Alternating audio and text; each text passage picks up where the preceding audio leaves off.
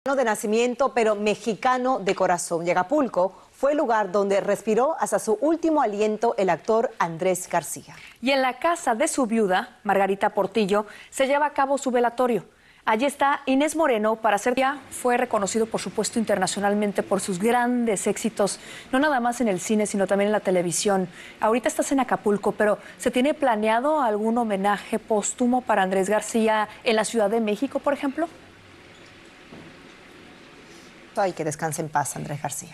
Pero nos acompaña ahora Tony de Andrades, quien tuvo el privilegio de viajar a Acapulco y compartir con Andrés García en el año de 1999.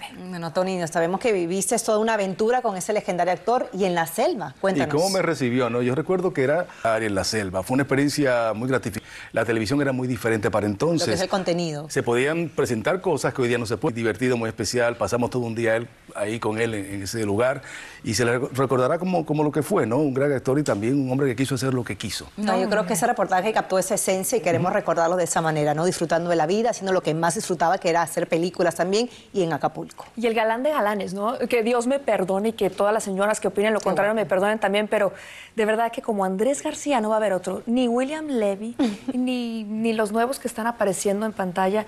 Y eh, bueno, tú, tú, me lo puedes decir. Okay. ¡Qué bien! Muchas gracias las autoridades, por qué está pasando todo esto, cómo se para, y, como vimos no solamente aquí en Estados Unidos, ahora también en Brasil. ¿Qué está pasando con el mundo? Una muy buena pregunta y es escalofriante además tener que seguir reportando este tipo de crímenes, de tragedias. Como mencionó el presidente, una monstruosidad realmente inexplicable. Muchas gracias. Sin palabras. La naturaleza que lamentablemente, Jackie, los expertos cumplieron con el pronóstico, ¿no es así?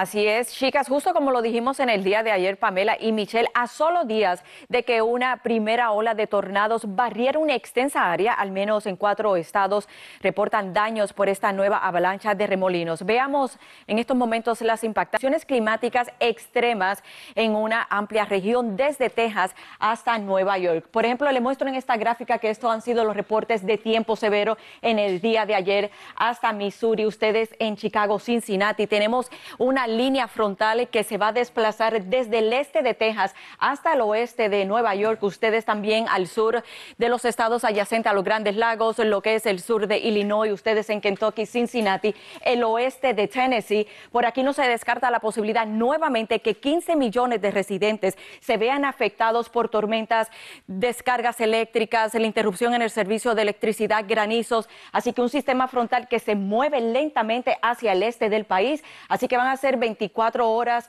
bajo el riesgo de condiciones muy severas. Y bueno, por supuesto, seguimos hablando de las condiciones del tiempo en nuestras redes sociales, arroba primer impacto. Muchas gracias y continuamos con más. mal, el autismo es un asunto muy personal. A unas edades donde supuestamente... Pero muchísimo, así nos despedimos en esta tarde de impacto. Con actitud. Sintonice su noticiero local para mantenerse bien informado y los esperamos mañana en una nueva cita de impacto. Yo hubiera querido yo tener el ritmo que tenía Victoria. No, no, no. De